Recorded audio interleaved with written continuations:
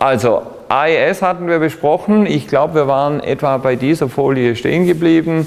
Also ähm, die Technik haben wir kennengelernt, ein Stück weit auch verstanden. Ähm, oder gibt es da noch Fragen dazu? Haben Sie noch Fragen zur Funktionsweise von AES? Gut, also dann Geschwindigkeit. Ähm, etwa neunmal schneller als Triple DS, das sind natürlich gute News. Ja. Ähm, das heißt, wir haben ein neues Verfahren mit vielen Vorteilen, äh, das außerdem noch neunmal schneller ist als das bisherige äh, noch sichere Verfahren Triple DES. Ähm, und wir kommen also 1000 MHz Rechner, 200 Megabit pro Sekunde auf einem 3000 äh, MHz Rechner hätten wir 600, vielleicht kann man auch so in Richtung Gigabit schon kommen mit äh, tollen Implementierungen. Mehr ist nicht machbar. Ja. Okay, so. Ähm, klar kann man natürlich auf Parallelrechnern noch mehr erreichen, beziehungsweise auf Hardware-Implementierungen. Und ganz wichtig ist eben, äh, dass man auf 8-Bit-Prozessoren äh, das Ganze auch gut implementieren können mit einem Kilobyte Speicherplatz nur für den Objektcode, das finde ich super beeindruckend. Okay, Sicherheit. Ähm, da hat eben dieser Herr Reimann, der das in, äh, Reindahl, der das in der, nee, Reindahl ist der Algorithmus und Reimann war der eine Entwickler, der hat in seiner Doktorarbeit gezeigt, dass das gegen Krypt, äh, differenzielle Kryptoanalyse äh, sehr gut gehärtet ist. Ähm, und außerdem, ja gut, diese Folie ist nicht mehr ganz aktuell, alle Angriffe der Konkurrenten waren erfolgreich. Es gibt heute einen erfolgreichen Angriff, ich glaube, das habe ich beim letzten Mal auch schon kurz erwähnt. Ein Jahr nachdem der Standard festgesetzt wurde, ist so ein Angriff publiziert worden, aber der Angriff hat eigentlich nur theoretische Bedeutung weil er praktisch viel zu aufwendig wäre. Ja. Aber der war von der theoretischen Seite her ganz interessant und zwar haben die gezeigt, dass man den Reindahl-Algorithmus als eine geschlossene Formel hinschreiben kann. Ja. Äh, die Formel wäre zwar gigantisch groß, ähm, aber immerhin. Und wenn man das als geschlossene Formel hinschreiben kann, dann könnte es theoretisch Möglichkeiten geben, diese geschlossene Formel also, ähm, zu invertieren. Schauen Sie, wenn Sie jetzt hinschreiben können, unser ähm,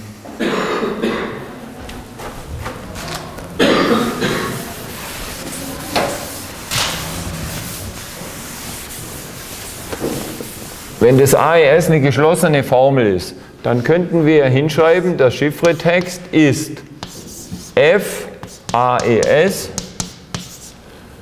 von Klartext M. Ja? Und ja, wir wissen ja außerdem, dass Reindahl äh, invertierbar ist, sonst wäre es ja keine Chiffre. Das heißt, wenn die Funktion invertierbar ist, dann muss es auch prinzipiell möglich sein, diese Gleichung, das ist jetzt eine geschlossene Formel, diese Gleichung nach m aufzulösen. Das heißt, dann können wir irgendwann schreiben, m ist gleich FAES hoch minus 1 von c. Ja? So, und wenn es jetzt eben, also das ist alles ziemlich hypothetisch und theoretisch auch, wenn es jetzt möglich ist, aus Klartext-Chiffretext-Paaren diese Funktion äh, FAES irgendwie zu approximieren, äh, zu kennen, dann ist es auch möglich, diese Umkehrfunktion zu bestimmen. Aber wie gesagt, der hat keine praktische Bedeutung. Okay, das heißt, wir können in sehr hohem Maße auf die Sicherheit von AES vertrauen. Mehr können wir nicht sagen. Ja? Wir können nicht die Sicherheit streng im strengen mathematischen Sinne beweisen, weil AES ist kein One-Time-Pad und die Mathe ist halt nicht ganz trivial. Ja? Ähm, aber das ist eigentlich eine ähnliche Geschichte wie, naja, wenn Sie Auto fahren, wenn Sie über eine Brücke fahren, wenn Sie im Hochhaus sind, ähm, niemand kann Ihnen garantieren, dass Sie eine, eine Stunde später noch am Leben sind. Ja? Ähm, aber Sie können in sehr hohem Maße darauf vertrauen, dass Ihnen nichts passieren wird. Also das ist hier genau das Gleiche. Okay, gut. Andere Funktionalitäten, ja, das ist jetzt noch wichtig. Und das gilt übrigens nicht nur für AES, das gilt für DES und eigentlich für jede, für jede der modernen Blockschiffren. Wir können damit nicht nur verschlüsseln, wir können auch andere Dinge tun.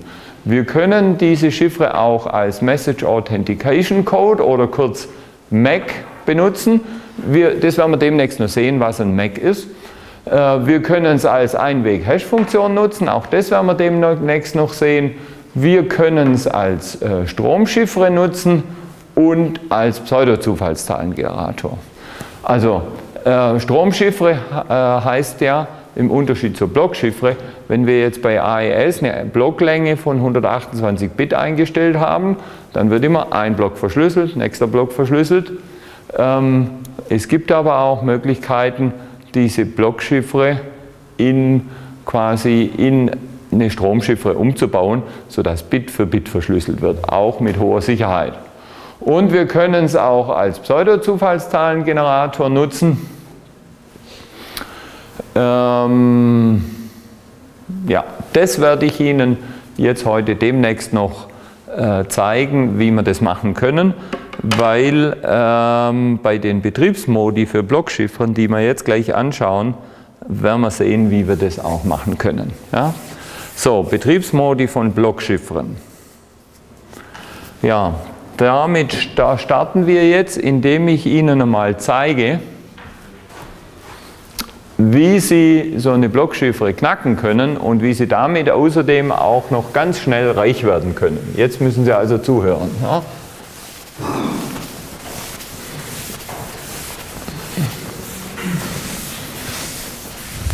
Und zwar das erste ist, machen Sie ein Praxissemester bei so einer Großbank. Ja? Ähm, weil die Banken, die haben viel Geld. Ja? Da gibt es viel zu holen. Und dann müssen Sie da am besten ähm, in die Abteilung gehen, die den bargeldlosen Zahlungsverkehr abwickelt und da am besten noch in die Krypto-Unterabteilung, ja, sodass Sie da ein bisschen mitkriegen, wie die Datenstrukturen beim bar bargeldlosen Zahlungsverkehr sind. Ja. Ähm, und jetzt schauen wir uns mal an, wie so eine Überweisung funktioniert. Da werden natürlich Datenpakete übertragen über irgendeine Verbindung. Ja. So. Und zwar sind die natürlich verschlüsselt. Und die sind jetzt zum Beispiel mit DES oder mit AES verschlüsselt, diese Datenpakete. Und jetzt nehmen wir mal an, so eine Überweisung würde so aussehen. Ja, wären jetzt 2, 4, 6, 7 Blöcke. Ja, 7 Blöcke, A128 Bit. Und dann ist es natürlich irgendwo auch standardisiert.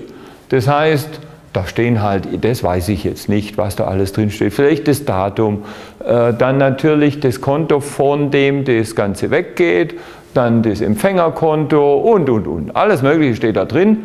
Irgendwo steht auch der Betrag. Vielleicht hier steht jetzt drin 100 Euro werden übertragen. Ja? Und deswegen müssen Sie Ihr Praxissemester da bei der Bank machen, dass Sie wissen, in welchem Block steht der Betrag drin. Ja? Wenn Sie das jetzt rausgekriegt haben, dann können Sie ganz schnell reich werden. Ja? Und zwar, also diese Überweisung, die kommt ja von der Bank A und geht zur Bank B. So, was Sie jetzt machen müssen ist, Sie machen ein Konto auf bei der Bank A und machen ein Konto auf bei der Bank B. Ja? Und Sie brauchen ähm, ja, schon ein bisschen Geld auf der Bank A. Ja?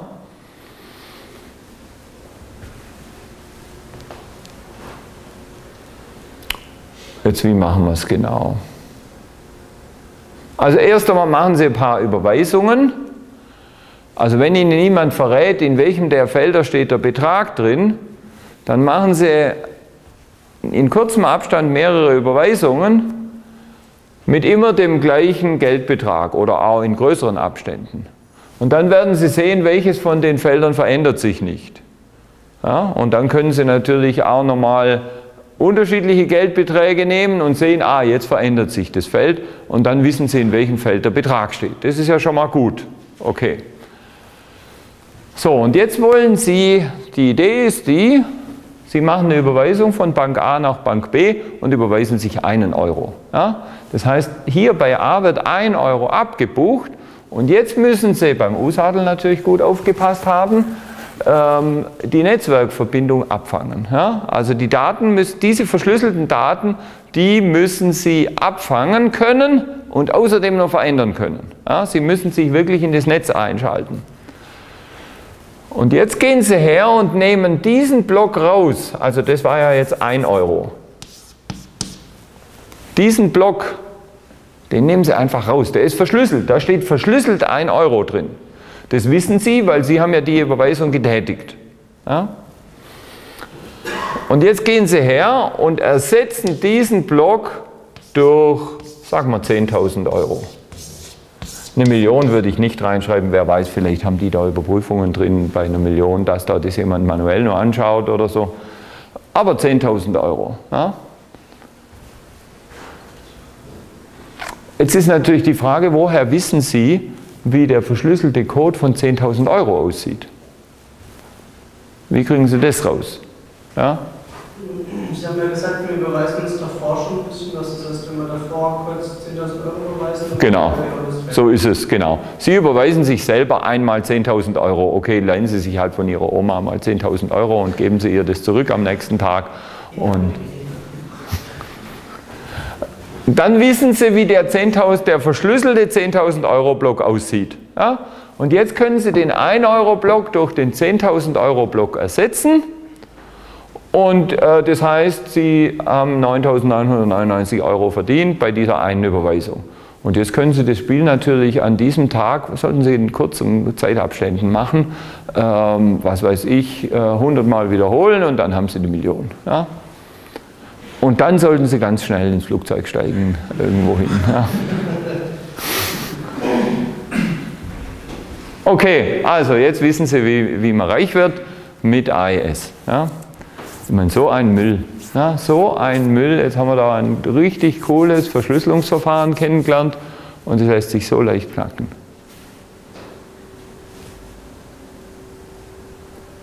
Der tiefere Hintergrund, weshalb sich das so leicht knacken lässt, ist, AES ist eine monoalphabetische Chiffre. Das ist der tiefere Hintergrund, weil das heißt,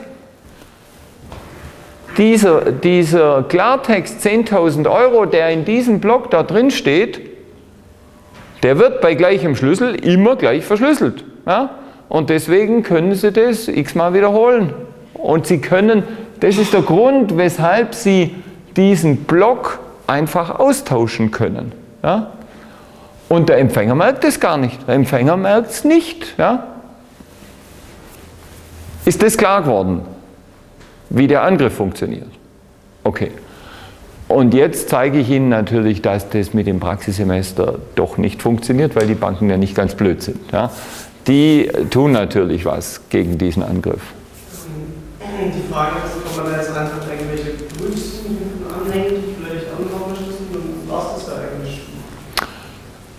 Man muss natürlich wissen, dass es Prüfsummen gibt und die vielleicht mit abändern.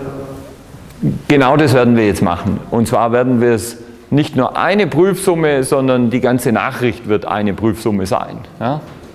Genau das machen wir jetzt. Okay.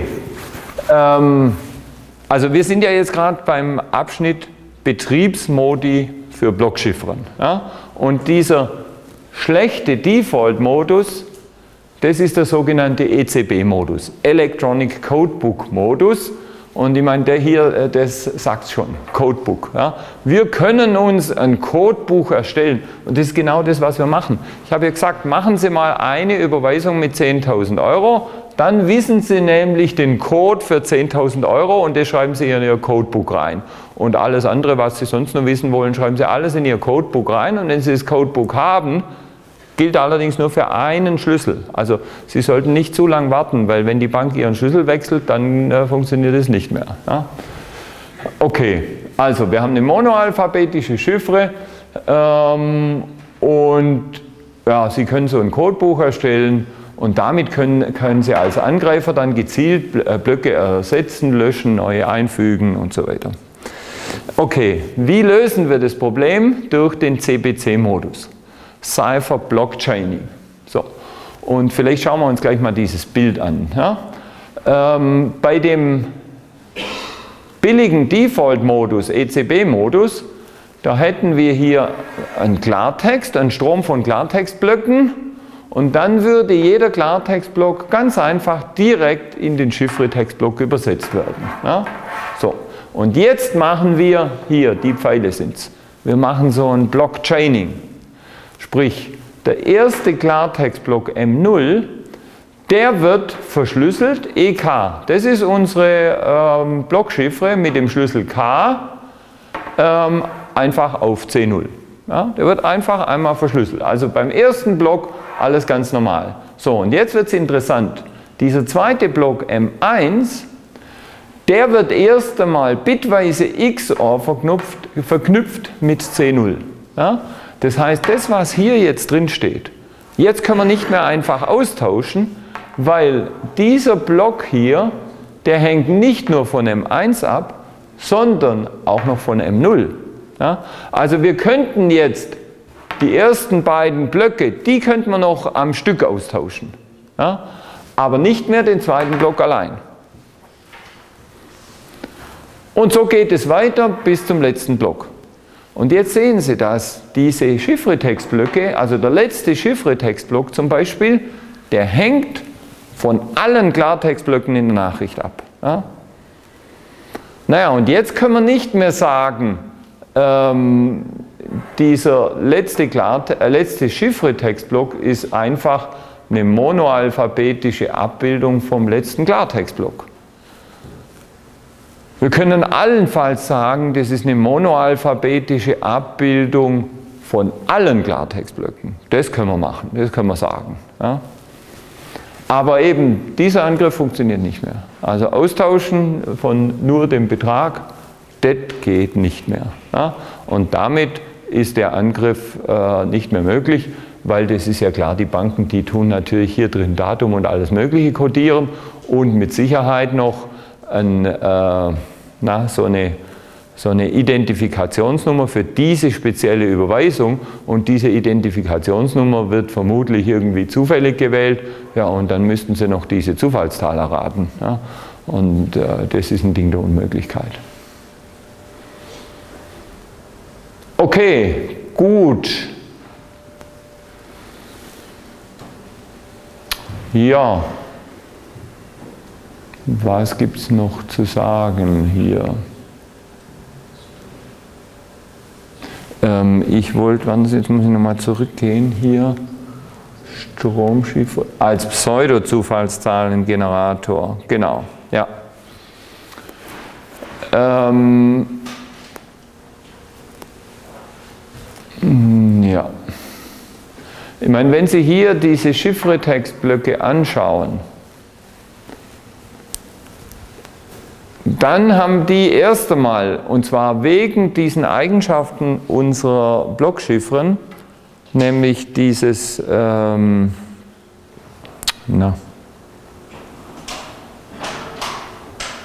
Konfusion und Diffusion. Die Konfusion und Diffusion führen dazu, wenn das eine sichere Blockchiffre ist, dass diese Chiffre-Textblöcke alle perfekt zufällig aussehen. Ja? Also wenn Sie die anschauen und testen auf Zufälligkeit, dann wird, werden so statistische Tests sagen, sieht perfekt zufällig aus. Ja? Insofern können Sie das hier tatsächlich als Zufallsbitsequenz verwenden. Ja, also so ein Chiffre-Text, den können Sie verwenden als Pseudo-Zufallszahlen, ja, keine echten natürlich. Aber die Chiffren, die sind so gut, dass das perfekt zufällig aussieht. Ja. Das heißt, Sie können, Sie können solche Chiffretexte äh, tatsächlich als Pseudo-Zufallszahlensequenz verwenden. Ja.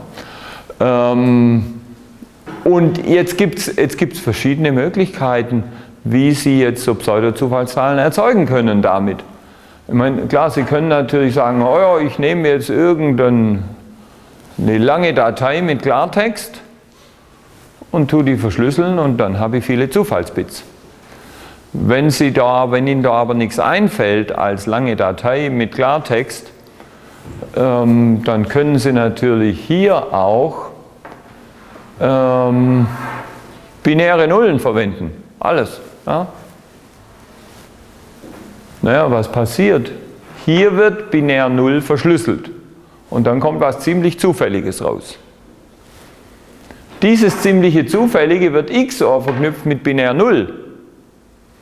Naja, ich meine, das heißt, äh, wie, wie ist das im Moment? XOR mit 0 ähm, ergibt den Wert, den ich hatte. Genau, das, also das heißt, das können Sie gerade weglassen. Das heißt, Sie nehmen das hier und tun es hier direkt rein. Ja? Das heißt, Sie, Sie verschlüsseln diesen Chiffretext nochmal und dann wieder und wieder und wieder. Ja? Sukzessive immer wieder neu verschlüsseln. Und weil die Chiffren eben Konfusion und Diffusion sehr gut machen, ähm, ist es immer wieder ein neuer zufälliger Block. Natürlich hängt der von dem Vorgängerblock ab. Aber das ist bei allen Pseudo-Zufallszahlengeneratoren so. Alle Pseudo-Zufallszahlengeneratoren funktionieren genauso. Sie starten mit einer initialen Zahl. Das wäre hier äh, zum Beispiel binär 0. Und die, diese Initialzahl, die wird sukzessive immer wieder neu, äh, quasi wird daraus eine neue Zahl berechnet.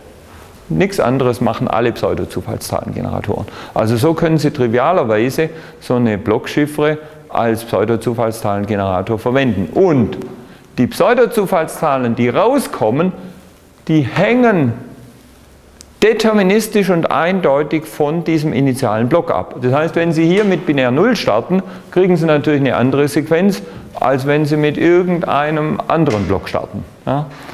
Und das ist genau die Eigenschaft von Pseudo-Zufallszahlengeneratoren. Daran merken Sie auch schon, es ist nicht wirklich zufällig, sondern es ist nur pseudo-zufällig. Weil es ist ja klar, wenn Sie hier mit dem gleichen initialen Block starten, dann kriegen Sie immer die gleiche Sequenz. Ähm, ja, und deswegen ist es auch keine so gute Idee für kryptografische Anwendungen, äh, Pseudo-Zufallszahlengeneratoren zu verwenden. Da sollte man, wenn man die Möglichkeit hat, echte Zufallszahlen verwenden. Okay, gut. Ja, genau, Initialisierungsvektor. Jetzt haben wir noch ein Problem hier. Also das ist genau das, was wir gerade hier diskutiert haben. Ähm, wenn wir hier zweimal den kompletten gleichen Klartext haben, dann kriegen wir trotzdem wieder genau den gleichen Chiffretext. Ja? Also wenn Ihre Bank jetzt ein ganz naives Protokoll hier hat und keine irgendwie äh, zufällige Seriennummer produziert für die Überweisung, dann kann es tatsächlich sein, dass Sie zweimal die gleiche Beweisung zum Beispiel, Sie machen folgendes. Sie überweisen 1000 Euro von Bank A nach Bank B, fangen das ab und leiten es 100 Mal weiter. Ja? Das heißt, hier wird einmal abgebucht und da kommt 100 Mal an. Ja? Das könnten Sie dann immer noch machen, wenn die Bank äh, naiv wäre. Okay, ähm, aber das heißt, was man dann machen könnte ist, wir verwenden den CBC-Modus und der erste Block M0, den hängen wir einfach vorne dran. Und zwar nehmen wir da einen Block, der aus zufälligen Bits besteht. Und dann kann die Bank ein naives Protokoll haben, wie sie will. Jede neue Nachricht liefert mir einen völlig anderen Chiffretext.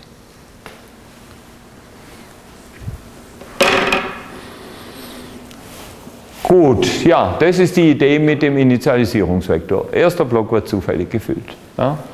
Ah ja, genau, und dann gibt es noch das Padding, ähm, nämlich der letzte Block. Es kann ja sein, dass meine Nachricht, dass da der letzte Block nicht mehr ganz voll wird. Ja? Dass da bloß noch ein Bit zum Beispiel gebraucht wird von dem letzten Block. Und ähm, das ist nicht so toll, weil Angreifer, die können natürlich dann, wenn die wissen, aha, da ist nur noch das erste Bit äh, relevant und der Rest sind binär Nullen, dann gibt es da natürlich Angriffe auf den letzten Block.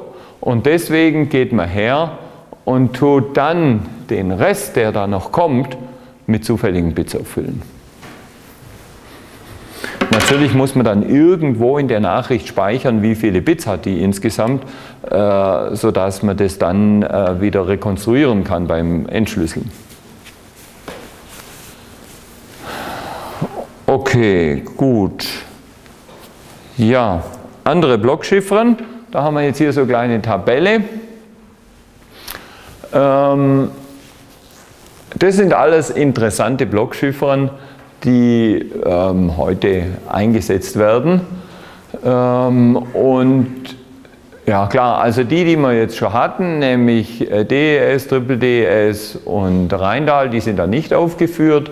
Hier sind eben andere aufgeführt, zum Beispiel IDEA vom James Massey an der ETH Zürich, dann äh, Blowfish von Bruce Schneier Bruce Schneier, der Name sagt Ihnen ja sicher auch schon was. Das ist der, der dieses tolle Kryptobuch äh, äh, geschrieben hat. Applied Cryptography, äh, Blowfish, äh, Blowfish und Twofish, beide von dem Schneier. Dann gibt es mehrere Chiffren RC2, 5 und 6 von dem Ron Rivest. Ähm, den Namen Rivest werden wir natürlich auch noch kennenlernen. Das ist nämlich einer der Entwickler von RSA, RSA steht ja für Rives Shamir Adelmann, äh, eine ähm, Public Key Chiffre. Dann haben wir Serpent, auch drei äh, hochkarätige Kryptologen, die das entwickelt haben. Und hier sehen Sie zum Beispiel ganz lustig, ist ein Feistelnetz. Ja? Also die Feistel-Chiffren, die sind immer noch interessant. Oder auch hier, Two-Fish, Blowfish, da haben wir drei von denen sind Feistel-Chiffren, genauso wie DES. Ja? Ähm, dann haben wir noch Mars von Don Coppersmith. Coppersmith ist der, oder ich weiß nicht, ob es heute noch ist, äh, Chefkryptologe bei IBM. Ja.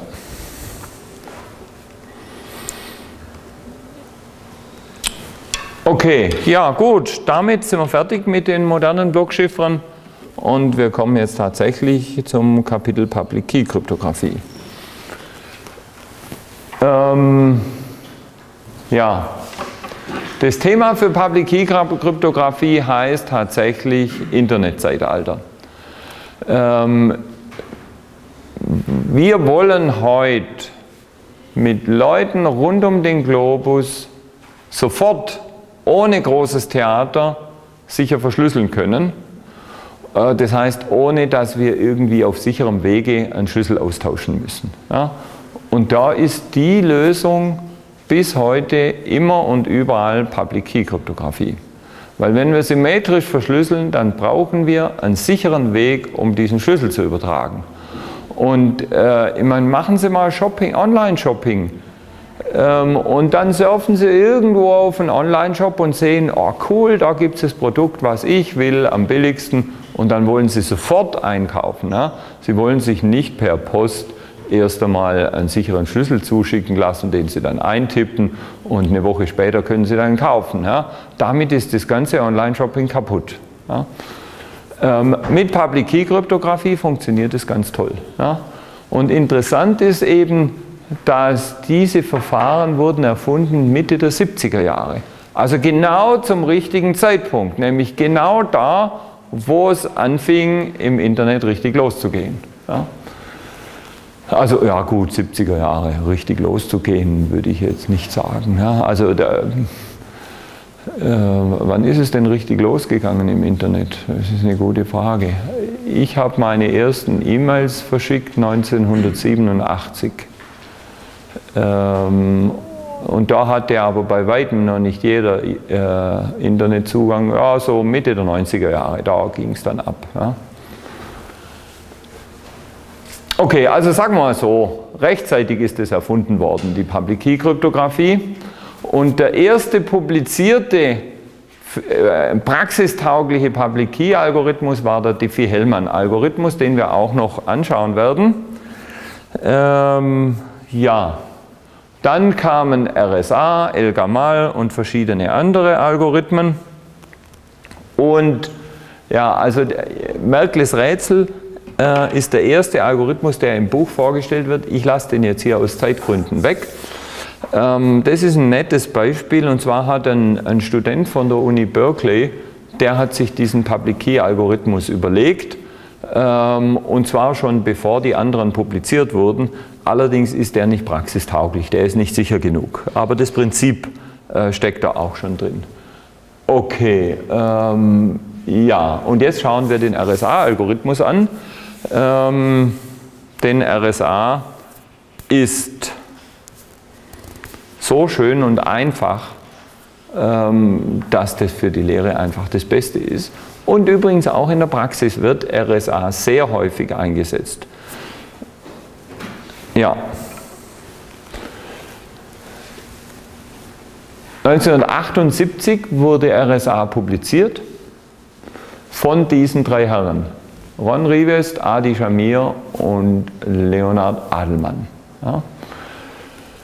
Ähm, die drei, die haben, also der Rivest, der hat quasi, ja, das war der Entwickler, wenn man so will. Der hat das Verfahren entwickelt ähm, und seinen Kollegen Shamir und Adelmann vorgeschlagen und der Shamir, den Namen dürfen Sie sich merken, Shamir ist der große Kryptoknacker. Ja? Also wann immer ein neuer Algorithmus rauskommt, dann wird dem sein Lehrstuhl, seine Arbeitsgruppe äh, den angreifen und erfolgreiche Angriffe dann publizieren. Ja? Ähm, und der Adelmann, der hat da so auf beiden Seiten mitgemischt. Aber das ist ganz wichtig. Ich meine, so, ein, so, so eine Arbeitsteilung muss meines Erachtens eine Kryptoabteilung in einer Firma einhalten. Ja? Ähm, weil es geht nicht, das funktioniert einfach nicht, dass wenn, wenn Sie ein Entwickler sind oder einen Entwickler haben, der Krypto- oder Sicherheitssoftware bauen soll, dass der die Sicherheitssoftware entwickelt, designt, entwirft, implementiert und gleichzeitig auch noch testet. Das ist viel zu unsicher. Ja? Warum? Weil ein Stück weit jeder von uns betriebsblind wird. Ja? Sie entwickeln irgendwas Cooles und sind total überzeugt davon, dass das gut funktioniert, weil sie haben ja jahrelang daran gearbeitet und sie sehen dann die Schwachstellen halt nicht mehr so gut, wie der Kollege in der Konkurrenzabteilung, dessen äh, im, im, im, Idealfall wird dann dessen äh, Prämie am Ende vom Jahr noch davon abhängen, wie viele Algorithmen der geknackt hat. Ja, der wird natürlich motiviert sein, äh, das, was Sie entwickelt haben, niederzumachen. Ähm, das heißt, es muss eine getrennte Abteilung sein. Und das haben die anscheinend ein Stück weit bei dieser Entwicklung äh, tatsächlich beherzigt. So, ähm, ja, und dann muss man heute eine Sache noch erwähnen. Und zwar, die haben RSA 1978 publiziert. Diffie-Hellman wurde, ich glaube, zwei Jahre früher, 1976 publiziert.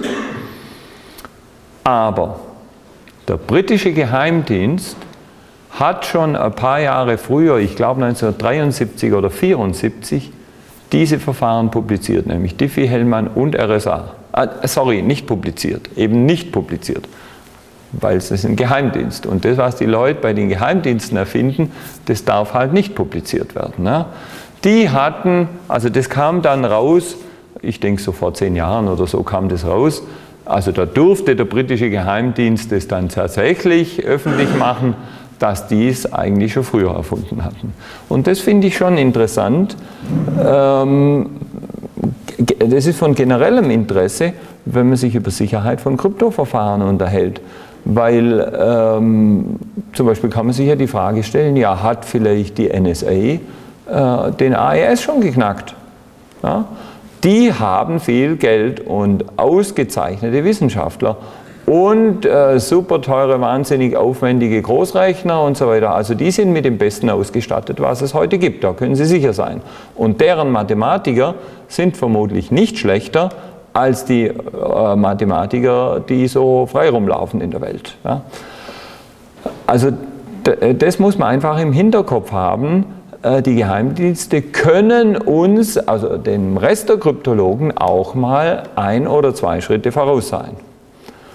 Und an dem Beispiel sieht man es, da waren die, ich glaube, so etwa zwei Jahre dem Rest der Welt voraus. Was, was ich nicht oder für äußerst unwahrscheinlich halte, ist, dass die Geheimdienste einmal dem Rest der Welt zehn Jahre voraus sind. Weil die Wissenschaft funktioniert heute so, durch die ganz tolle Kommunikation, Vernetzung und auch die Konferenzen sind immer weltweit. Das heißt, die Wissenschaftler treffen sich auf den großen Konferenzen alle vor Ort, tragen sich die neuesten Erkenntnisse vor. Das heißt, jeder, der sich informiert, ist auf dem aktuellen Stand, was so weltweit die Community erfunden hat. Ähm, das heißt, es kann eigentlich nicht passieren, zumindest in der offenen Welt nicht passieren, dass Wissenschaftlergruppen extrem weit voneinander entfernt sind, ja, wenn sie, jedenfalls wenn sie nicht schlafen. Ähm, das heißt, es kommt heute nicht vor, dass irgendwo ein Wissenschaftler dem Rest der Welt, äh, Welt extrem weit enteilt, ja, weil wir so, so gut kommunizieren und genau wissen, wer was wo macht. Ähm, und deswegen glaube ich nicht dran, äh, dass in den Geheimdiensten die uns extrem weit enteilt sind. Ich meine, klar, wenn man jetzt annehmen würde, ja, die Geheimdienste zahlen viel höhere Gehälter und deswegen gehen die Allerbesten nur zu den Geheimdiensten. Aber ähm, es gibt sehr wohl auch äh, extrem gute Leute, die keine Lust haben, den Stress beim Geheimdienst zu arbeiten, sich anzutun. Ja? Sondern die sagen, ja, so ein Professorengehalt an so einer Uni, damit kann ich gut leben, ich habe sehr viel Freiheit, es macht Spaß und äh, fertig. Also deswegen können wir schon darauf vertrauen, dass die freien Wissenschaftler richtig gut sind und äh, dass die Geheimdienste nicht viel besser und schneller sind. Okay, gut, ja, schauen wir uns mal RSA an. Ja? Ähm, hier haben wir erst einmal die Anwendung von RSA. Ich habe es ja schon mal gezeigt, ähm, und, aber das schreiben wir sehr wohl auch nochmal jetzt auf die Tafel hin. Und ich möchte auch nochmal wiederholen, was wir bisher schon kennen an Chiffren. Ich meine, wir kennen jetzt die modernen Blockchiffren und das ist ja diese komplizierte Getreidemühle, komplizierte mathematische Formel und das iterativ ganz oft angewendet, mit dem Schlüssel verknüpft und so weiter. Ähm, aber was kennen wir an einfachen Formeln? Wir kennen die Verschiebechiffre. Ja? Und die funktioniert ja so, also jetzt in Form von Chiffre und Klartext geschrieben, C ist gleich ähm, Klartext M plus so eine Verschiebung k modulo n. Ja? Oder nehmen wir, nehmen wir hier e, ja, weil das haben wir da drüben auch. Also plus so eine Verschiebung e modulo n. Ja? Und da wissen wir, das ist total unsicher. Ja?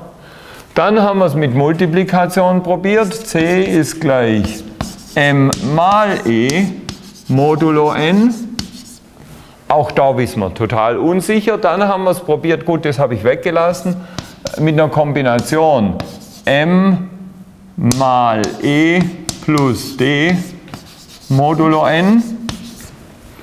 Auch das ist genauso unsicher wie die beiden da drüber. Naja, jetzt haben wir, haben wir Multiplikation und Addition probiert. Jetzt kommt die nächst komplexere algebraische Operation nämlich Potenzierung. Ja? Also C ist gleich m hoch e modulo n. Und das ist nichts anderes als RSA. Und das finde ich schon cool. Also das ist doch klasse. So einfach.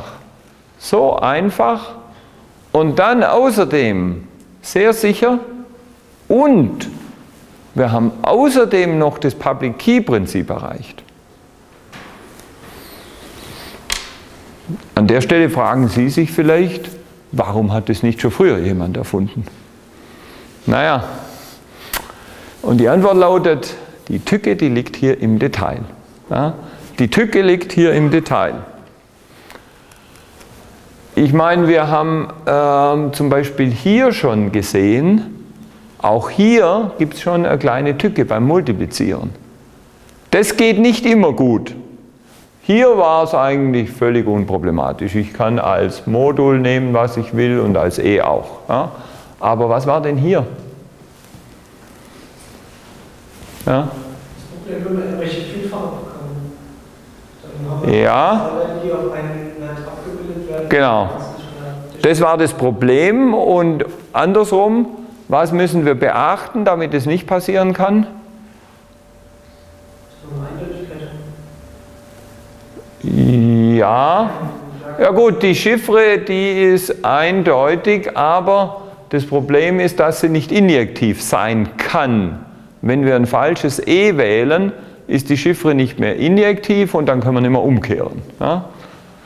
Eben, was ist die Bedingung an E und N? Da gibt es eine Bedingung an E und N. Genau, so ist es. Also der GGT von E und N muss gleich 1 sein. Ja? Also da sehen Sie, da haben wir schon so eine Bedingung, das funktioniert nur dann richtig, wenn die Bedingung erfüllt ist. Und hier unten, das werden wir uns gleich jetzt anschauen, was wir da beachten müssen, da müssen wir ein paar Dinge beachten, sodass das Ganze gut geht und dass es dann auch noch als Public Key äh, Verschlüsselung funktioniert. So, also das ist hier die Formel für das Verschlüsseln. M hoch E modulo N. So, jetzt entschlüsseln das geht, wir nehmen den Chiffretext C hoch D modulo n. Und jetzt ist natürlich die interessante Frage, wie sind D und E miteinander verknüpft? Ja, die sind natürlich miteinander verknüpft, weil das ist ja eine Public Key Chiffre. Das heißt, zu diesem Schlüssel E gehört natürlich ein Dechiffrierschlüssel D. Oder anders gesagt, dieses E Zusammen mit dem Modul N ist der Public Key der öffentliche Schlüssel. Beim Public Key Verfahren, Sie erinnern sich, da tun wir ja verschlüsseln, indem wir den öffentlichen Schlüssel des Empfängers nehmen, damit verschlüsseln wir und der Empfänger nimmt dann seinen geheimen Schlüssel und tut es wieder auspacken. Das heißt, dieses D ist der geheime Schlüssel zum öffentlichen Schlüssel E. Und die hängen natürlich sehr wohl miteinander zusammen. Und ganz wichtig ist natürlich außerdem, dass wir diesen geheimen Schlüssel niemals aus dem öffentlichen Schlüssel irgendwie herleiten können sollen. Ja? Umgekehrt, wenn ich den geheimen Schlüssel habe, dann wäre es gut, wenn ich daraus den öffentlichen berechnen könnte, aber die Umkehrung nicht. Also Sie sehen, wir sind wieder bei dem Thema Einwegfunktionen angekommen. Ja? Wir wollen sehr wohl aus dem geheimen Schlüssel den öffentlichen ausrechnen können. Die Umkehrung soll aber so gut wie unmöglich sein. Okay, jetzt schauen wir uns einmal das Verfahren an. Also wie hängen diese Schlüssel zusammen, beziehungsweise wie werden die generiert. Und das steht alles auf dieser Folie. Ah, ich habe jetzt immer noch diese uralt Folie da. Ähm, ja, jedenfalls, genau, das sind die Folien aus dem Netz. Ich glaube, meine Folien sind korrigiert, aber ich müsste mal die im Netz korrigieren. Und zwar, was nicht ganz stimmt, sind diese Schlüssellängen hier. Ja. Ähm, hier müsste man eigentlich sagen, wir sollten hier für diese Zahlen P und Q 1024 Bit nehmen. Ja. Also, was passiert? Wir wählen zwei große Primzahlen P und Q. Ja. Und die sollten 1024 Bit zum Beispiel haben. Dann berechnen wir n gleich p mal q, also wir multiplizieren die miteinander. Wir multiplizieren zwei Primzahlen miteinander und das ergibt uns den Modul n. Ja, mit diesem Modul wird dann verschlüsselt. Das heißt, wir merken uns jetzt, der Modul ist keine Primzahl, sondern ist ein Produkt aus zwei Primzahlen. Okay, und n hat dann eine Länge von 2048 Bit, wenn wir hier oben 1024 Quellen haben. Okay, und jetzt gehen wir her und ähm, wählen so eine kleine, ungerade natürliche Zahl e. Ja? Und diese Zahl e, die muss jetzt mit dem Modul n, mit diesem Modul zusammenhängen und zwar die muss zu phi von n, also zu dieser Zahl, zu p minus 1 mal q minus 1 relativ prim sein. Das heißt, der GGT von e und phi von n muss 1 sein. So, jetzt werden Sie sich fragen, warum muss diese komische Eigenschaft gegeben sein? Das werden wir nachher beim Beweis der Korrektheit von RSA noch sehen. Da werden wir genau das brauchen. Sonst geht es nicht. Und daran sieht man natürlich auch schon, so ganz trivial ist es nicht, so einen RSA-Algorithmus zu erfinden. Weil die Frage ist, das E wird unser Exponent sein, den wir verwenden. Aber da dürfen wir jetzt nicht alles verwenden, sondern nur ganz bestimmte E's.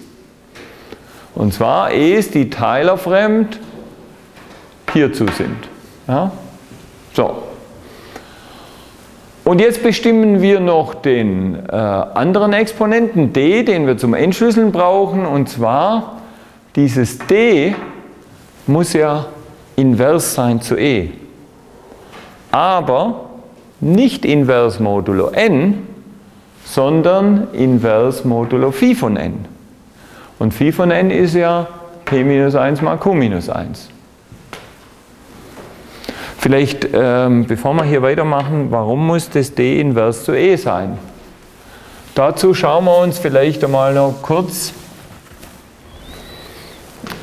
die klassische Mathematik an. Wenn wir jetzt ohne Modulo n rechnen und wir sagen, c ist gleich m hoch e,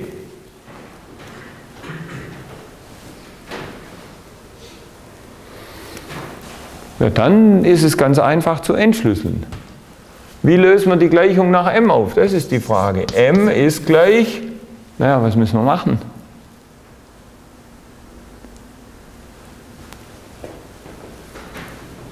Was müssen wir tun?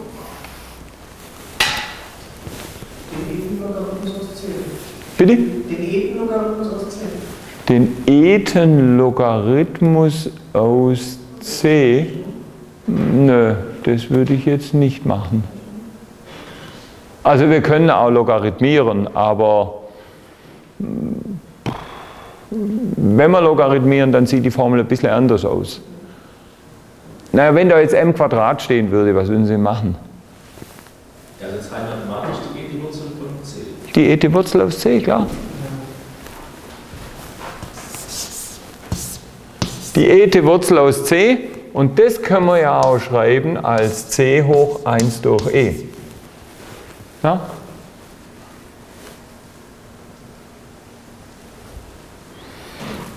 Und wenn wir das jetzt schreiben als c hoch d, dann sehen wir, d ist gleich 1 durch e.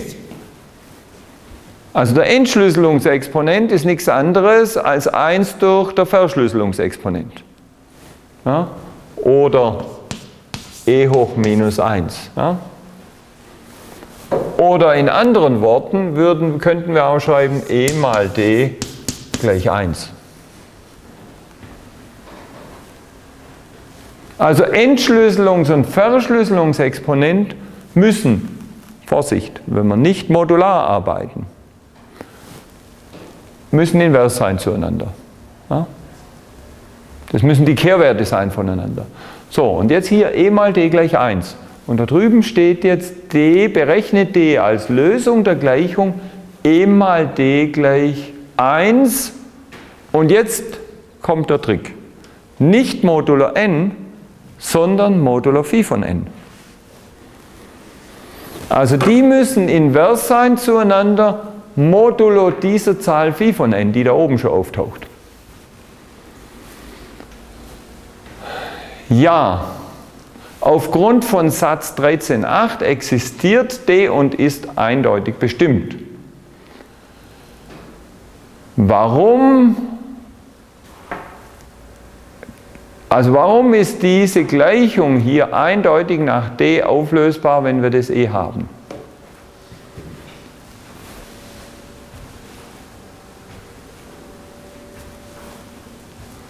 Die Antwort ist übrigens die gleiche wie die, die ich Ihnen vorhin hier gestellt habe.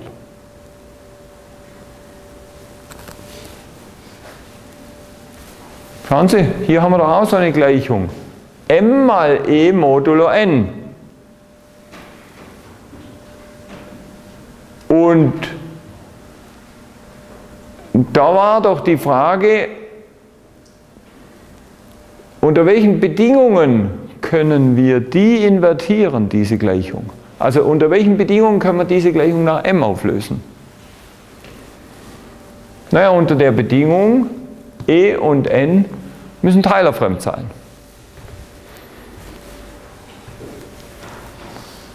Und hier wollen wir so eine Gleichung e mal d gleich 1 nach d auflösen. Ja, was muss dann gelten? Ja, dann muss ähm, E und Phi von n, die beiden müssen teilerfremd sein. Das haben wir aber hier oben schon gefordert. Das heißt, unser E, da oben steht es, unser E müssen wir so wählen, dass es teilerfremd zu Phi von n ist. Das heißt, diese Bedingung ist erfüllt und deswegen können wir die Gleichung eindeutig nach D auflösen. Und wir wissen außerdem, wie man d berechnet, nämlich wir können das mit dem erweiterten euklidischen Algorithmus berechnen. So, ja, das war jetzt der Algorithmus für die Schlüsselerzeugung. Jetzt sind wir fertig, jetzt können wir das Paar e,n als öffentlichen Schlüssel bekannt geben und das Paar d,n als geheimen Schlüssel nicht bekannt geben. Ja. Genau. So, bevor wir jetzt uns diesen kurzen Einzeiler Korrektheitsbeweis anschauen, machen wir uns doch vielleicht mal noch kurz Gedanken über die Sicherheit. Also, wir, wichtig ist, wir haben diese beiden Paare e, n, das ist der öffentliche Schlüssel und d,n ist der geheime Schlüssel.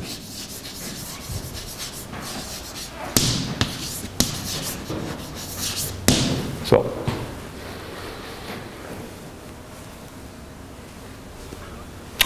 Ja, das ist die kritische Frage. Wie kann ich dieses D rauskriegen? Diesen geheimen Schlüssel. Wenn ich den öffentlichen, das hier kenne, die beiden Dinge kenne ich, wie kann ich die rauskriegen? Wenn wir das schaffen, ist das Verfahren geknackt. Schauen Sie sich nochmal die Schlüsselgenerierung an. Was brauchen wir? Was brauchen wir, um D zu berechnen? Wie wird D berechnet? Unter Punkt 4 steht es.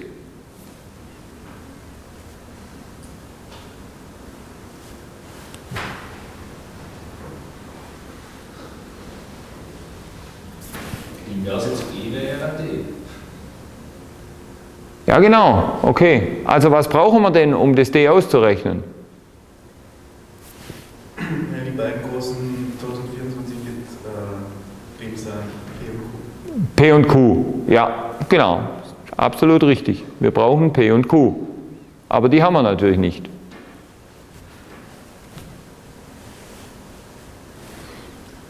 Vielleicht gehen wir jetzt mal erst nochmal rückwärts vor. Also wir müssen ja diese Gleichung nach D auflösen. Was brauchen wir dazu? Wir brauchen erst einmal E und wir brauchen Phi von n. Ja? Also wir brauchen eigentlich gar nicht P und Q, sondern wir brauchen Phi von n. Aber was ist Phi von n? Ah, jetzt sehen Sie es. P minus 1 mal Q minus 1. Also wir brauchen doch P und Q. Oder sagen wir so, eigentlich reicht es mir, wenn ich Phi von n habe. Aber wer sagt mir das? Woher kriege ich das? Also da wäre es ganz praktisch, wenn ich P und Q hätte, weil dann könnte ich es ganz einfach ausrechnen. So, also die Kenntnis von P und Q würde tatsächlich das Verfahren knacken. So, naja, wie können wir denn jetzt auf P und Q kommen?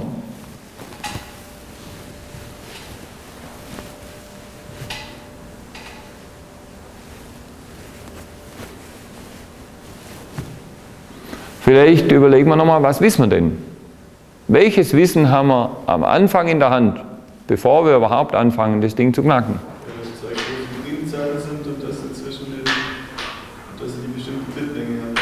Oder zwischen den Bitlängen. Ja, das ist aber ziemlich wenig. Ja?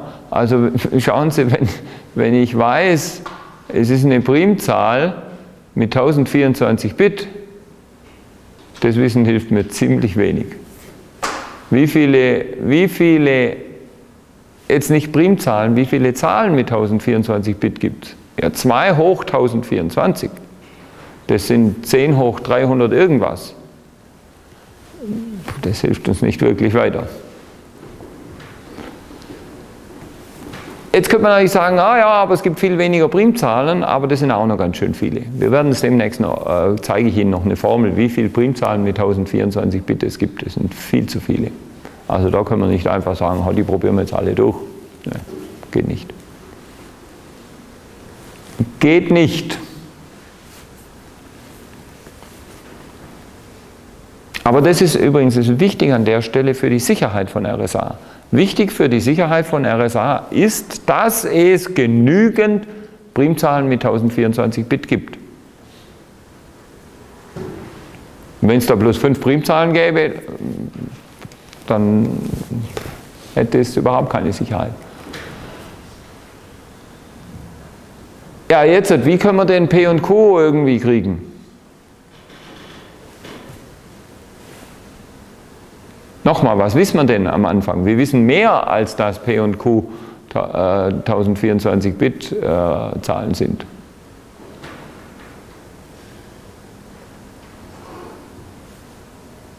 Naja, wir wissen das, was hier steht, E und N. Wir wissen den öffentlichen Schlüssel und den Modul N kennen wir.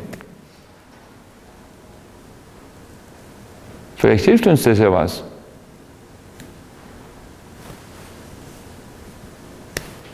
Das hilft uns sehr wohl. Also eins kann ich Ihnen sagen, RSA wird niemals per Brute Force Angriff geknackt, sondern da gibt es intelligentere Angriffe mit ein bisschen Mathe.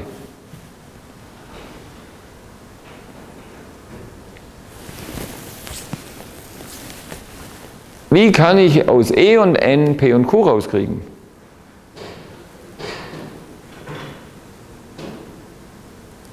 Wie hängen die denn mit P und Q zusammen? Das Produkt aus P und Q. Genau. Ja, also. Machen wir.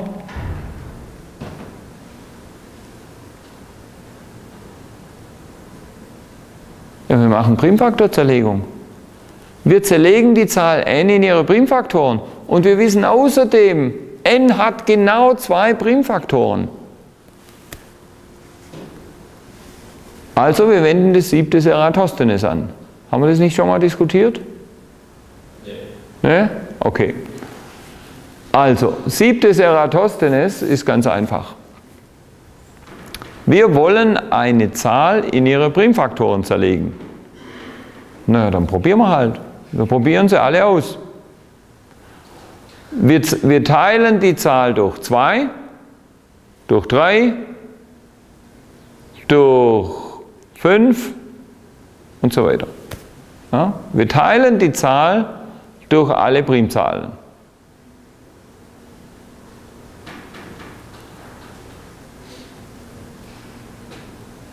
Und sobald wir erfolgreich sind, also das heißt, sobald die Division irgendwann mal aufgeht ohne Rest, haben wir einen Primfaktor gefunden. Und dann fängt es an einfacher zu werden. Weil dann ist die Zahl ja das Produkt aus zwei Primfaktoren Und gut, bei RSA sind wir dann fertig, weil wir wissen, die Zahl besteht nur aus zwei Primzahlen. So, jetzt ist die Frage, wie groß ist denn der Rechenaufwand? Wie groß ist der Rechenaufwand für dieses simple Verfahren von dem Eratosthenes? Also wir teilen, wir wollen, ähm, sollen wir da jetzt nur ein einfaches Beispiel machen an der Tafel mit kleinen Zahlen? Ja, machen wir das vielleicht mal. Genau. Dann werden Sie ziemlich schnell sehen, wie wir das auch noch ein bisschen verbessern können.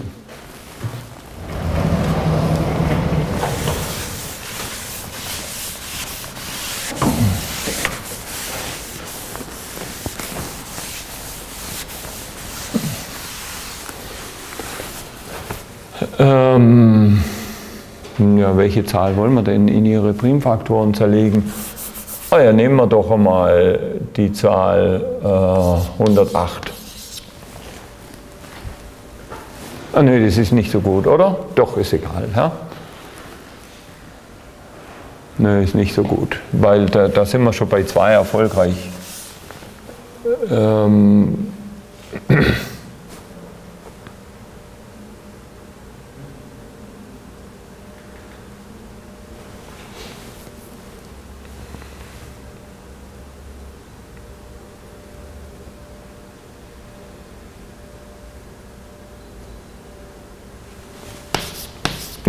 Nehmen wir 121. Ja? Das ist nicht schlecht. So, also wir, wir teilen durch 2, geht nicht, wir teilen durch 3, geht nicht, wir teilen durch 4 und so weiter. Ja? Bis wir irgendwann bei 11 angekommen sind und dann sind wir fertig. Ja? Weil wir wissen, dann sehen wir, das ist 11 mal 11.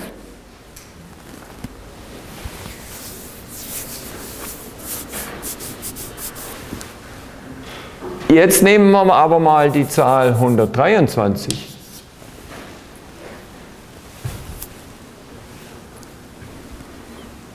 Dann sind wir bei 11 noch nicht erfolgreich.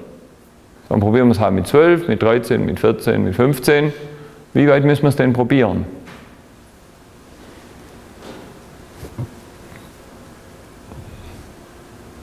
Spätestens, wenn wir, wenn wir durch 100 22 geteilt haben, dann können wir aufhören, oder? Nein, wir können schon viel früher aufhören. Wo können wir aufhören? Ja, bei 12 können wir aufhören. Sobald wir durch 12 geteilt haben, sind wir fertig. Warum? Weil 12 mal 12 ist 144 und das ist schon größer als das. Schauen Sie, wenn wir, wenn wir jetzt geteilt haben durch alle Zahlen 1 bis 12, dann äh, 12 mal x gleich 123. Wenn wir das so aufschreiben, dann wissen wir, dass x hier ist kleiner als 12. Das heißt, die, alle diese möglichen x haben wir schon probiert. Und deswegen können wir da aufhören. Das heißt, also wenn wir jetzt die Zahl n faktorisieren wollen, dann müssen wir nur bis Wurzel n probieren. Nur bis Wurzel n. Ja? So.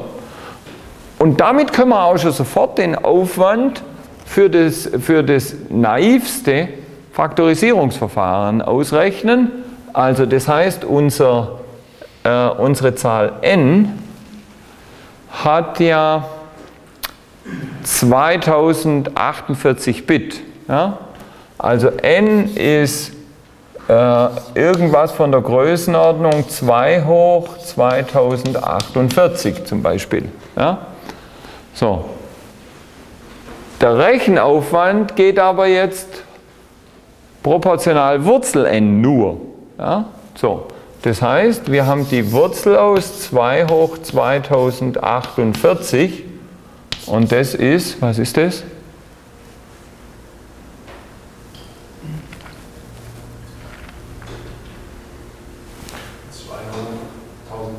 Genau, so ist es.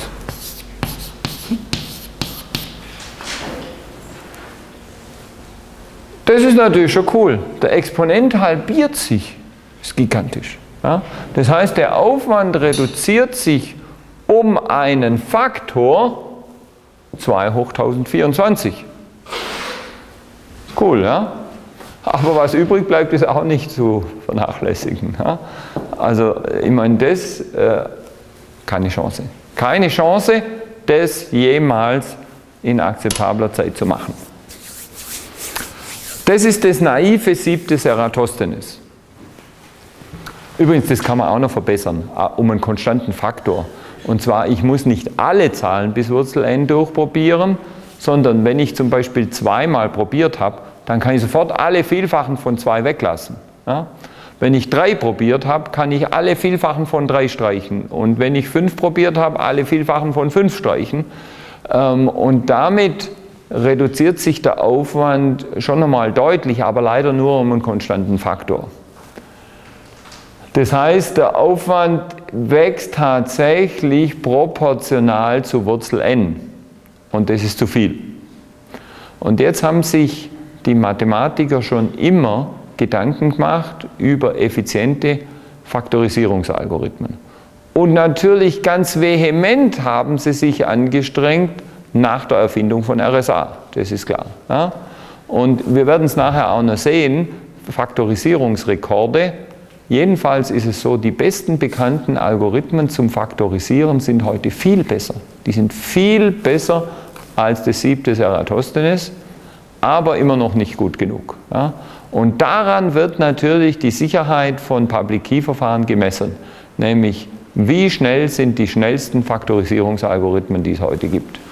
Also das, ist, das wird ein ganz wichtiges Thema sein, das schauen wir uns dann auch noch ein bisschen genauer an. Ja? Ähm, okay, aber jetzt erst einmal ähm, schauen wir, achso, machen wir, Machen wir noch ein kurzes Beispiel. Ja. Machen wir dieses Beispiel und dann schauen wir uns die Sicherheit von RSA an. Nö, dann schauen wir uns die Korrektheit an, um dann wieder zur Sicherheit zu kommen. Also kleines Beispiel. Wir nehmen p gleich 61, q gleich 97. Sind zwei Primzahlen. Also sind natürlich viel zu klein, aber mit, mit äh, 1024 Bitzahlen, da wären die Folien zu klein dafür. Das Produkt der Modul ist dann 5917 dann rechnen wir aus Phi von n. Phi von n ist dann 60 mal 96, also da jeweils 1 abgezogen und ist 5760. Jetzt wählen wir e gleich 47 ähm, und das ist eine Zahl, die ist teilerfremd zu Phi von n. Ja? Und berechnen mit dem erweiterten euklidischen Algorithmus ähm, die Inverse zu e modulo Phi von n und da kommt raus 1103. Und jetzt sind wir fertig. Jetzt haben wir nämlich unseren öffentlichen Schlüssel 47 und den geheimen Schlüssel 1103. Das ist natürlich ein Fehler hier auf der Folie. Äh, das muss heißen 47, 5917. Das ist der öffentliche Schlüssel. Da muss der Modul stehen. Jetzt verschlüsseln wir diese Nachricht M ich habe jetzt die immer äh, drei Ziffern, äh, also Blöcke mit drei Ziffern genommen. Wir hätten auch vier Ziffern nehmen, Blöcke nehmen können, aber Vorsicht, die müssen natürlich kleiner als n sein. Ja?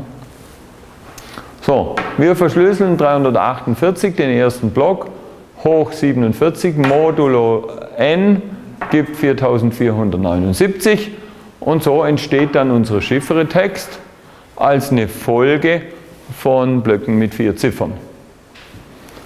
Okay, gut, und jetzt überprüfen wir nochmal, ob das Entschlüsseln auch funktioniert. Jetzt nehmen wir diesen ersten Chiffre-Textblock, aber das kann man hier unten leider nicht mehr gut erkennen.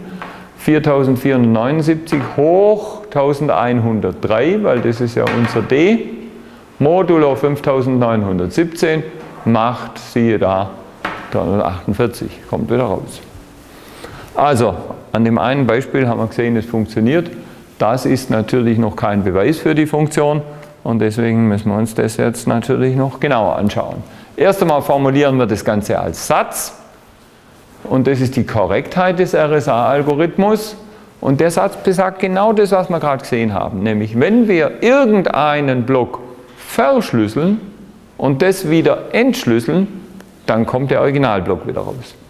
Also der Satz sagt nichts anderes als d von e von m gleich m. Und e von d von m ist auch gleich m. Also Verschlüsseln und Entschlüsseln sind tatsächlich invers zueinander. Ja? Und das müssen wir noch beweisen. Gehen wir nochmal zurück auf unsere Schlüsselgenerierung. Hier steht nirgends, dass dieses d, was wir hier ausrechnen, tatsächlich den Klartext reproduziert. Das müssen wir jetzt erst einmal beweisen. Und der Beweis ist so erstaunlich einfach, dass, man, äh, dass ich Ihnen den jetzt zeigen möchte. Ja? Also, was ist denn d von e von m? Naja, e von m, also die Verschlüsselungsfunktion groß e von m, ist ja nichts anderes als m hoch e modulo n.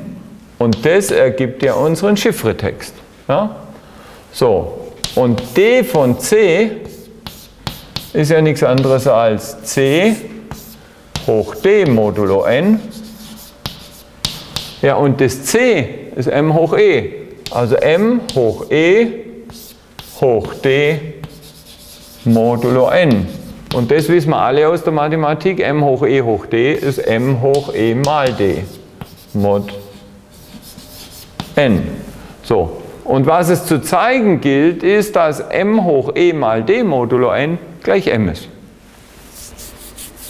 Also verschlüsseln und entschlüsseln nacheinander führt wieder zum Klartext. Das ist zu zeigen, hier steht es jetzt. m hoch e mal d ist kongruent zu m modulo n. Vielleicht zur Erinnerung nochmal, dieses kongruent zu m modulo n ist, ne, ist nur eine Abkürzung für Also ausgeschrieben bedeutet das m hoch e mal d mod n ist gleich m mod n. Wobei hier das mod n, das können wir weglassen, weil unsere Klartextblöcke, die müssen natürlich immer kleiner als der Modul sein.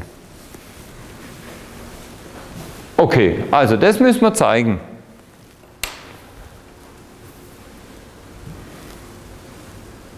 So. Ja, als erstes wissen wir einmal E und D, die sind invers zueinander bezüglich dem Modul Phi von n, also bezüglich diesem Modul. Ja, dann können wir doch, äh, also vielleicht gehen wir auch gerade da nochmal an die Tafel.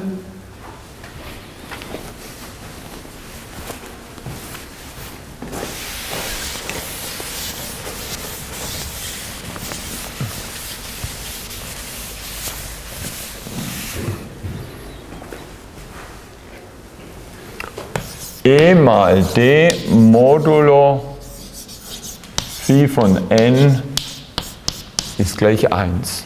Ja? Das heißt doch, dass e mal d, wenn wir diese Zahl nehmen und durch phi von n teilen, dann ist der Rest 1. Okay? Ja, dann können wir aber auch schreiben, e mal d ist gleich irgendein Vielfaches p, nein, p haben wir schon gehabt, was nehmen wir jetzt, m mal phi von n plus 1. Okay, rechnen mit Resten, ja, ist das klar noch? Das heißt doch, dass der Rest bei Division durch Phi 1 ist. Ja, und den Rest 1 heißt doch nichts anderes als die Zahl, um die es geht, ist ein Vielfaches von dem Modul plus 1. Okay. Achso, sorry, äh, da drüben sehe ich gerade, da haben wir k genommen, dann nehmen wir hier auch k. Also k ist das Vielfache. Und jetzt ersetzen wir das Phi von n noch durch P minus 1 mal Q minus 1 und dann steht die Formel hier auf der Folie da. Also E mal D ist ein Vielfaches von Phi von n plus diesem Rest 1. Und das ist schon mal ein ganz wichtiger Schlüssel zu dem Beweis. Das E mal D hier im Exponenten, also diesen Exponenten E mal D, den können wir ersetzen durch das, was hier steht. So, sind Sie alle noch am Ball? Gut. Dann starten wir mit dem Beweis. Also, jetzt legen wir los und schreiben m hoch e mal d. Ähm, modulo n ist m hoch und jetzt schreiben wir das 1 plus k mal p minus 1 mal q minus 1. Oh, Vorsicht, äh, sorry. Wir machen das Ganze jetzt nicht modulo n, sondern wir machen das modulo p. Immer das äh, bleibt mir jetzt freigestellt. Ja? Ich rechne jetzt modulo p und p war dieses p mal q gleich n. Ja? Also, m hoch e mal d ist kongruent zu diesem Ausdruck modulo p. Und hier haben wir ja nur das e mal d ersetzt. Und dann nehmen wir eben noch modulo p hinten dran, das dürfen wir auch. So. Naja, jetzt, jetzt verwenden wir, ich meine, das, was hier steht, ohne das Modulo p, ist ganz normale Mathematik. Wir haben eine, eine Zahl hoch einen Exponenten. Ja, wenn wir jetzt eine Zahl hoch 1 plus irgendwas haben, dann können wir das auch schreiben als die Zahl m mal m hoch diesen ganzen Rest. Ja? Also m mal m hoch p minus 1 mal k mal q minus 1. Und das haben wir gleich schon so geklammert. Also das können wir ja auch wenn wir, wenn wir sowas haben, m hoch a mal b, ist das nichts anderes als m hoch a hoch b, so geklammert. Ja, und das haben wir jetzt gemacht.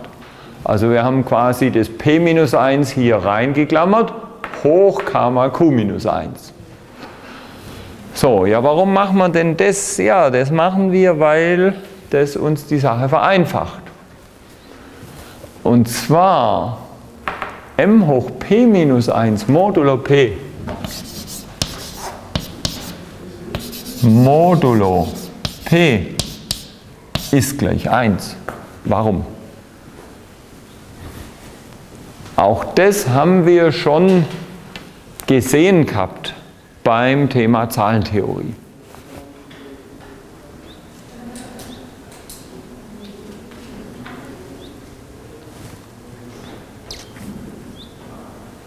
Das gilt nicht immer, aber unter bestimmten Bedingungen gilt sowas.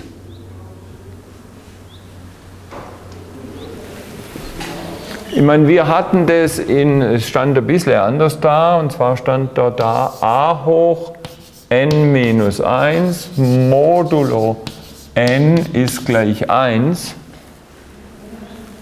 Und zwar davor stand noch, wenn n prim ist, dann gilt es. Und das ist ein ganz wichtiger Satz aus der Zahlentheorie, wichtiger, einfacher, elementarer Satz. Vielleicht weiß jetzt noch jemand, wie der heißt, der Satz. Das ist der kleine Fermatsche-Satz. Ja? Das ist der kleine Fermat. Okay, und den übertragen wir jetzt auf das hier oben. Modulo n entspricht dem Modulo p, also dann haben wir hier hoch n minus 1, da haben wir hoch p minus 1. Das heißt, das gilt jetzt auch, wenn, unter welcher Voraussetzung?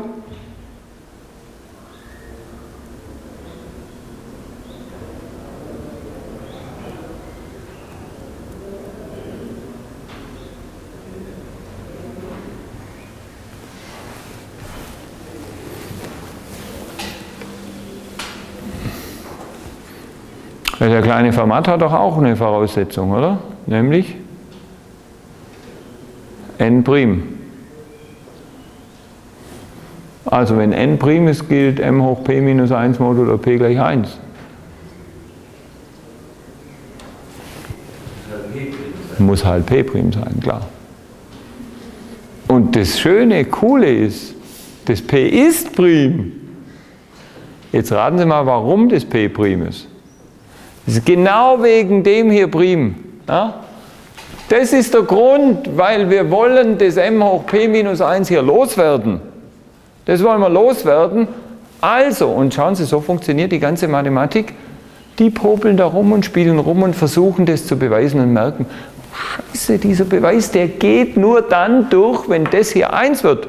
Ja, dann machen wir es halt zu 1, weil wir kennen ja den kleinen Fermat und wissen, aha, also wenn das P prim ist, dann wird das Ding 1. Also schreiben wir in die Voraussetzungen für unsere Schlüsselgenerierung rein, P muss prim sein. Dann können wir das hier durch 1 ersetzen. Und es steht jetzt hier, 1 hoch k mal q minus 1 modulo p. Naja, das ist natürlich wunderbar, weil jetzt steht 1 hoch irgendwas und 1 hoch irgendwas ist 1. Also steht da m modulo p. Wunderbar, Korrektheit von RSA gezeigt. Nein, natürlich nicht. Korrektheit von RSA wäre gezeigt, wenn hier stehen würde modulo n. Gehen wir nochmal zurück eine Folie. Hier. m hoch e mal d muss gleich m modulo n sein. Das wollen wir zeigen.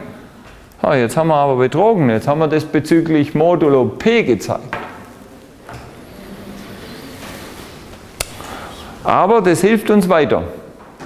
Weil jetzt machen wir das, genau das gleiche Spiel nochmal, modulo q. Ich meine, das geht natürlich genauso gut, weil das q ist genauso eine Primzahl wie p geht genau analog durch. Also, modulo q zeigen wir das gleiche auch noch. Und jetzt verwenden wir den chinesischen Restsatz. Ja?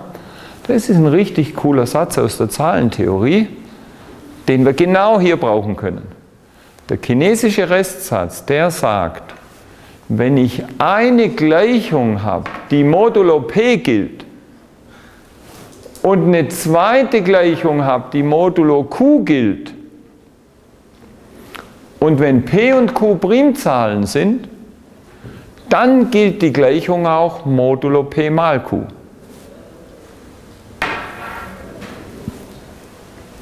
Ja, wunderbar. Brauchen wir den bloß anwenden. Ja, wir haben jetzt nämlich diese Gleichung modulo P gezeigt, wir haben die Gleichung modulo Q gezeigt, also gilt sie auch modulo P mal Q, sprich modulo N. Damit sind wir fertig und es gilt m hoch e mal d äh, modulo P mal Q ist M. Fertig. Und damit ist die Korrektheit von RSA gezeigt. Ähm, und Sie sehen jetzt sehr schön, weshalb P und Q prim sein müssen, weil sonst würde der Beweis nicht gehen. Und Sie sehen auch sehr schön, warum E und D invers modulo P minus 1 mal Q minus 1 sein müssen. Weil dieses Spiel, weil der Beweis, der geht nur durch mit P minus 1 und Q minus 1. Und warum? Schauen Sie hier, Moment, wo war das? Hier, hier. An der Stelle haben wir den kleinen Fermat angewendet. Und der kleine Fermat der gilt halt nicht für a hoch n modulo n, sondern für a hoch n minus 1 modulo n. Ja? Deswegen brauchen wir dieses p minus 1 mal q minus 1, äh, sonst würde RSA nicht funktionieren. Also wenn e und d invers modulo n wären, dann funktioniert RSA nicht. Ja? Sondern wir müssen es modulo phi von n machen. Wegen, letztlich wegen dem kleinen Fermat. Jawohl. Okay. Und an der Stelle machen wir Schluss und beim nächsten Mal machen wir uns dann nochmal Gedanken über die Sicherheit. Also sprich Faktorisierungsangriffe und Primzahlen und so weiter. Gut, danke.